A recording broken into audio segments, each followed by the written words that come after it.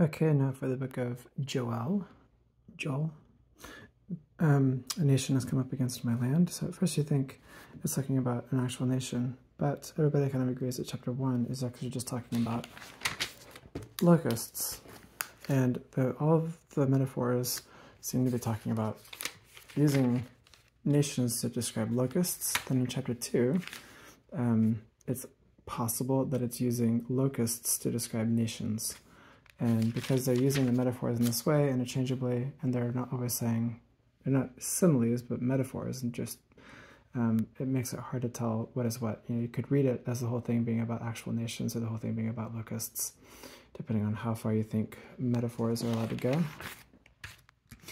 Uh, notice here the day of the Lord, this comes up. It's 12 times used in the minor prophets and then six times used in like the major prophets. So uh, it's got an outsized representation here in the minor prophets. It almost always refers to something negative, um, and often has a um, has a, an ultimate judgment note to it, uh, even though it does um, it does represent short-term judgment or historical judgment in some cases. Here it, you know, it's talking about a locust plague. All right, so the day of the Lord is coming. It is near, a great and powerful people. Oh yeah, that could be talking about locusts, or it could be talking about, it could, in other words, this could be description of locusts, but using um, the metaphor of people, or it could be talking about people. Now, because like down here it says that these are like warriors, that charge like soldiers, they scale the wall. That's a simile, making you think maybe this is actually just talking about locusts, right? but a lot of people still think that all of chapter 2 could be talking about real soldiers and not locusts. Uh, here's the most famous passage in Joel. Yet even now declares the Lord, return to me with all your heart, with fasting, with weeping, with mourning, and rend your hearts and not your garments. So with all your heart, your hearts and not your garments, referring here to a non-apathetic repentance, a real repentance. Return to the Lord your God, for he is gracious and merciful, slow to anger, and abounding in steadfast love.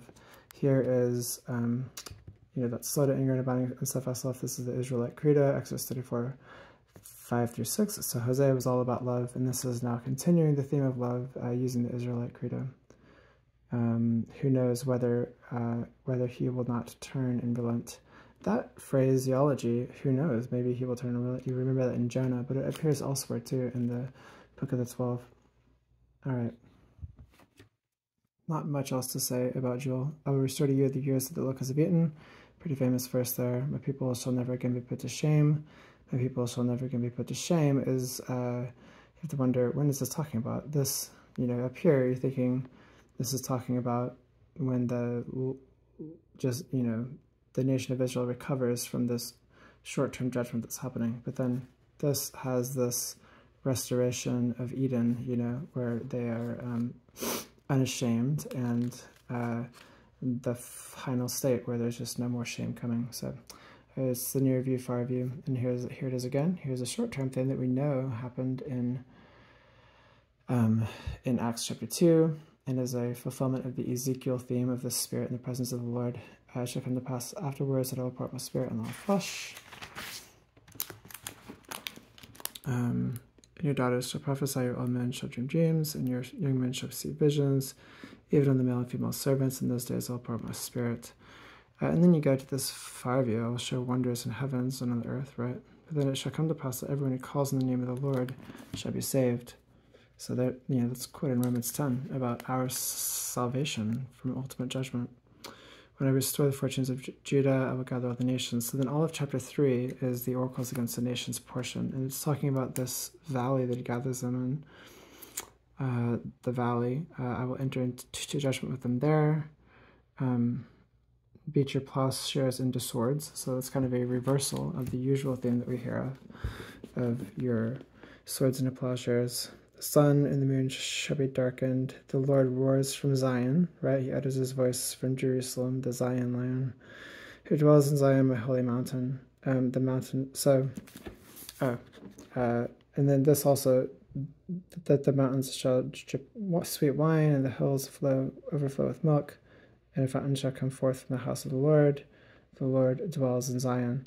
Lots of stuff talk about this. So this lion roaring from Mount Zion uh, is picked up, you know, just on the next page over in Amos. Um, but you've also got here a lot of other themes that you see elsewhere. So the mountains shall drip sweet wine, and the hills shall overflow with milk. Um, this is uh, picking up on the themes of the end of Amos, which um, no, that's Obadiah. I'm sorry. Um, but here, the mountains shall drip sweet wine, and all the hills flow with it. And I will restore the fortunes uh, is, is also there as well. Um, which, you know, we saw that over here. I'm going to restore the fortunes. So, and then a fountain shall flow forth from the house of the Lord. Remember Ezekiel 47. Um, so a lot of these themes of the ultimate restoration are, are happening here in this um, in this verse. The Lord dwells in Zion. His presence there on his holy mountain. Pretty common theme um, in the restoration passages.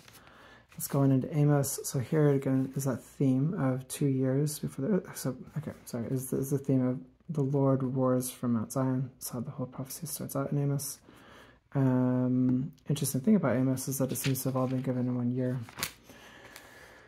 Okay, we'll just go ahead and go through the book of Amos. Or, you know what?